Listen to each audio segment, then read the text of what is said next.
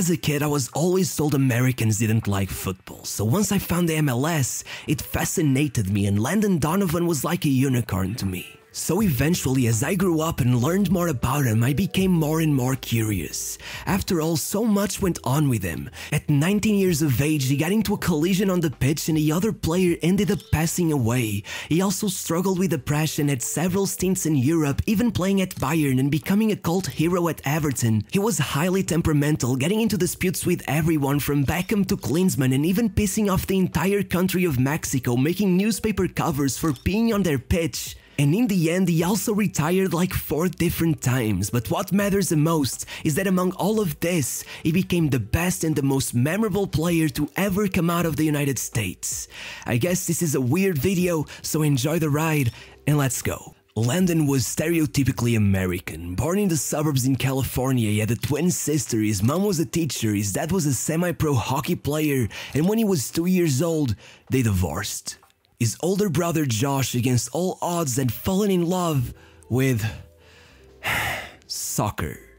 I'm not saying that ever again, okay? Regardless, since only the Mexican kids in town seemed to give a damn about it, he began teaching Landon so he could train at home and he was immediately blown away by his talent. By the age of 5, they signed him up for a tournament and in his first match he scored 7 goals, even though the kids were 2 years older than him. Then, in the blink of an eye, he had already joined his first youth club, and from there on out, it was like he was speed running the Wonder Kid pipeline. At one point, he even surprised his parents by showing them he could speak Spanish without anyone teaching him. When they asked how he learned it, he said he did it so he could play with the Mexican kids who lived nearby, as supposedly they would only pass him the ball if he asked for it in their own language. Regardless, at 15 years of age, he was called up for the US Football Olympic Development Program, which is like a nationwide scouting agency, so the kids won't go through their teenage years playing against random kids at their local high school. And after moving by himself to the other side of the country to join their academy in Florida, Landon debuted for the under 17 national team, and from the get go, he was pulling historic numbers, totaling 35 goals in 41 matches, while going on a fantastic World Cup run, scoring scoring three goals as though they would only secure a fourth place finish, Donovan would still outshine even the likes of Adriano to secure the Player of the Tournament award. It was the first time an American had been awarded anything like that by FIFA, and so he became a worldwide sensation. And just like any other wonder kid, the European clubs began making their rounds, completing his first transfer at only 16 to Bayer Leverkusen. It was also around this time that he got his debut for the US national team, putting on a show with a goal and assist against Mexico, who historically had dominated the USA with 27 wins versus only 5. It was a match that not only prefaced a shift in power but also set the stage for one of the funniest ongoing back and forths in football as Donovan just seemed unable to stop pissing off the entire country of Mexico. Regardless, as I once read in an American article, he was supposed to be the one, our beacon of hope in the land of the blind, the one-eyed Donovan was king. However, quickly everyone became much less hopeful. Donovan struggled to adapt to life in Europe, even admitting that he had been dealing with depression. After all, being so young, living all the way across the world, not understanding a word of what anyone says, can't be easy. Leverkusen tried their best, putting him on the reserve squad in order to ease the pressure and allowing him extended vacations as a cure for his homesickness. But despite all of this, Donovan let his ego get to him and after demanding game time in a stacked Leverkusen squad that nearly won the Bundesliga, he began colliding with the board and was sent on loan back to the USA where he would play for the San Jose Earthquakes, who despite at one point even employing the likes of George Best, were not by any means a successful team, and just the previous year had been quite literally the worst team in the country, meaning he was pretty much their only hope. But before that, Donovan would live through one of the most tragic on the pitch moments I've ever heard about. It was an under 20 match against Trinidad and Tobago away at their homeland, and their captain was a promising kid named Marvin Lee. Trinidad was ranked 25th in the world, the highest they had ever been, and that generation of kids would go on to lead them to their first World Cup. However, that day Marvin and Donovan saw the ball bouncing in the middle of the pitch, and both ran full force into it, colliding head to ribcage. Donovan got up and tried to get the ball back, but Marvin stayed on the ground yelling in pain. Everyone stopped to help him, but he seemed paralyzed as the ambulance took him away. Donovan would eventually be diagnosed with a broken rib, but Marvin had it much, much worse. From neck damage to spine damage, he was pretty much paralyzed from the neck down. He would never walk again and could barely even move his hands. The Trinidad Federation covered all the costs of his treatment, but unfortunately, just two years later, a simple cold proved fatal. Marvin had died at the age of 21. The stadium in which it all happened was renamed after him, but what does it all mean if he never got to watch Trinidad play at the World Cup?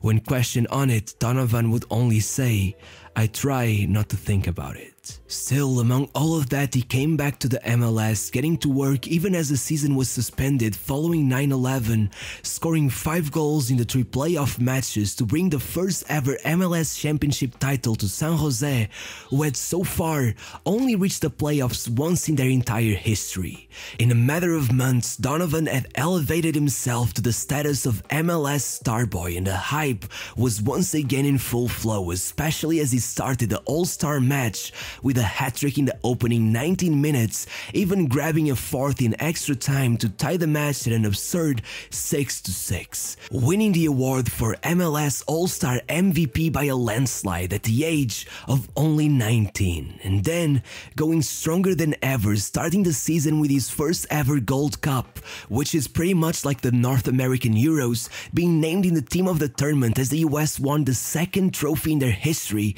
coming back from a disappointing season with the Earthquakes completely jumpstart his legacy at the 2002 World Cup with their best run in 72 years, being easily the star of the squad, scoring against Poland, starring in their shocking win over Portugal and putting on a man of the match performance against Germany, taking home the award for Young Player of the Tournament following the footsteps of the likes of Pelé, Beckenbauer and Michael Owen. But what was forever remembered was his match against Mexico, where he started things off by, well, calling them jerks and saying they played dirty, which they retributed by going on a massacre with a streak of 6 yellows and a red in the 20 minutes right after Donovan had scored the winning goal, with a player even telling him he would find his mom and kill her.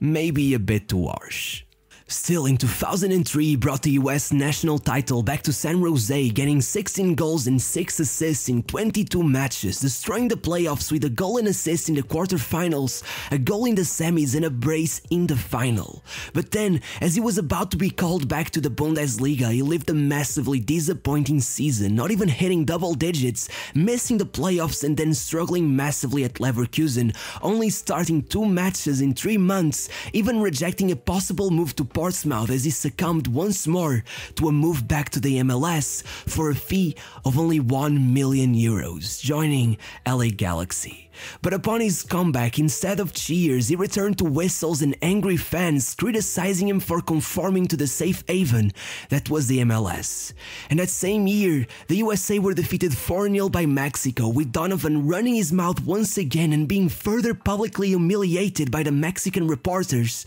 who caught a picture of him peeing in the grass of their training grounds after being locked out of the locker room, which was especially ironic considering he had accused the Mexican players of of spitting on him and grabbing him where they were not supposed to. Still, he started his time at Galaxy with a bang 16 goals and 10 assists, getting 4 goals in the playoffs as they went on to win the whole thing for only the second time in their history. Then joining the USA for another Gold Cup, winning it once again and being named as one of the best midfielders and the top scorer. Despite his incredible start, things really quickly took a turn. On his second season, Galaxy finished only 10th. Donovan was immensely criticized as the US national team crashed out of the World Cup without a single win, which was especially ironic considering he had said he wanted Mexico down on their knees, though he went on to greatly outperform them. Then David Beckham arrived at LA Galaxy and not only did Donovan lose his role as captain, which greatly upset him, but Galaxy went down to 11th place. The Gold Cup in June would be another odd moment for Donovan, who would score in four consecutive matches up till the final, as the United States won every one of their last three games by a single goal. And still,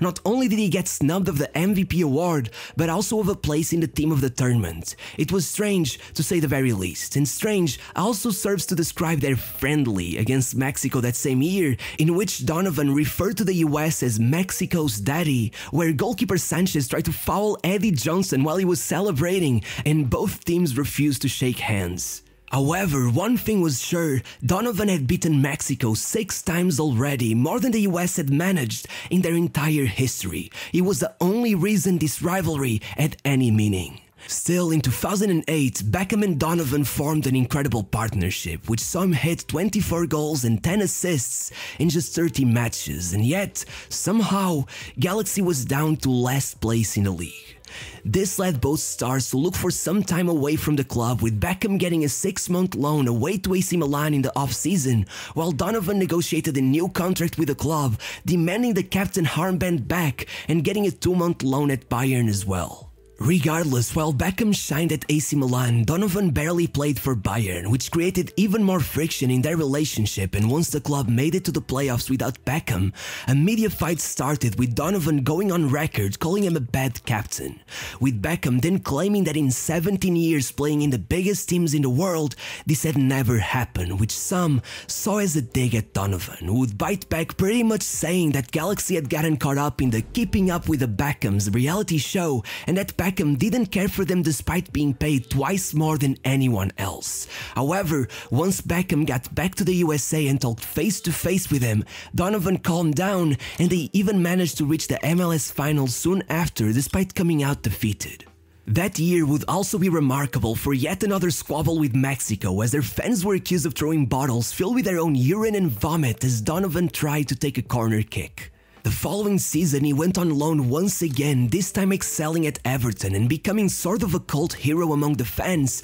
who pretty much convinced him to stay, though Galaxy rejected every attempt at extending his loan and forced him to go back, only for them to lose yet another MLS final. But at least, he got to play the World Cup midway through the season, scoring 3 goals in 4 matches that allowed the United States to top their group for the first time since 1930, and Donovan to become the World Cup all-time top scorer from any team in Central and North America. Soon after, he finally resorted to saying some nicer words about Mexico after coming out defeated in the Gold Cup final, claiming he was just hot-headed as a young man and that he actually admired their footballing culture. Regardless, now approaching 30 years of age and having gone 6 years without a title, Donovan had dedicated all his life to becoming the MLS's greatest, but yet his accolades weren't exactly blowing anyone's mind. But that's exactly when everything began falling right into place. Over his final two years alongside Beckham, Donovan went on to win consecutive MLS titles, scoring the winning goals in both finals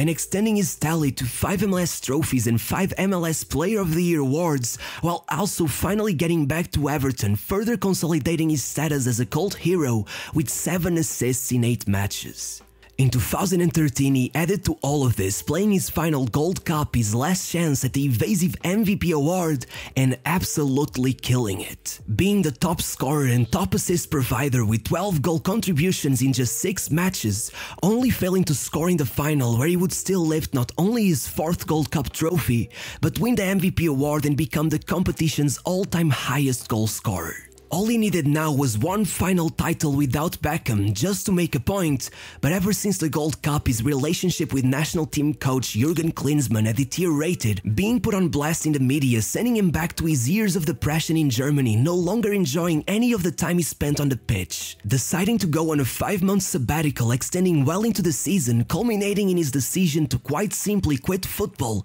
at the end of next year, which in his own words brought back that feeling of playing like a child Suddenly, I was free. And against all odds, we witnessed some of his best ever performances, totaling 31 goal contributions at 32 years of age, including 19 assists, the second most ever managed in an MLS season, only below the great Valderrama, as well as scoring a hat-trick in the playoffs and conquering the whole thing for his sixth time, more than anyone in history. Still, despite all of this, Donovan wasn't allowed a victory lap. Klinsmann saw his sabbatical as a sign of weakness and ended up leaving him out from the 2014 World Cup, with Donovan even making a PlayStation commercial in which he seemed to mock the whole thing. But regardless, it was also that year that he said his goodbye to football, being the all-time top scorer for the US national team and the MLS, a huge legacy that even saw the Player of the Year award being renamed to the Landon Donovan Award. But the thing is, he came back like three times, first playing one extra season as LA Galaxy went through an injury crisis in 2016, then retiring and coming back for another at Club Leon in Mexico, and finally one last comeback season to the San Diego Sockers at 38 years of age.